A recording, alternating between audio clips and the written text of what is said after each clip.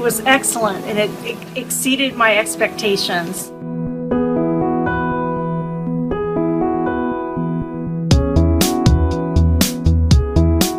Actually, I think your service was great.